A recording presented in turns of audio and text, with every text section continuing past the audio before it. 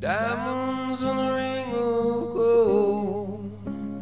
You say you want your story to remain untold, but all the promises we made from the cradle to the grave.